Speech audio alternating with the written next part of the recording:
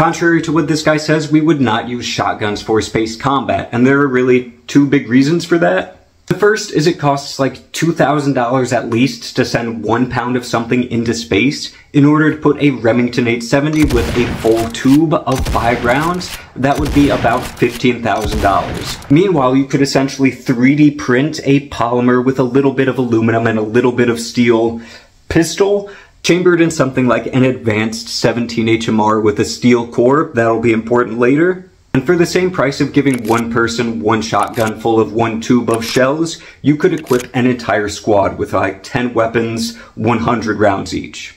Just something plastic would make more sense. And reason number two, spacesuits right now have like 4 to 5 millimeters of Kevlar, and looking at body armor ratings, that's enough to stop buckshot.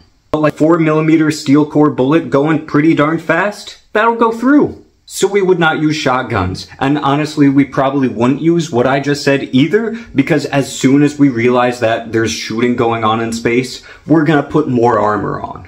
And that's when you would see gyrojets with warheads becoming more popular.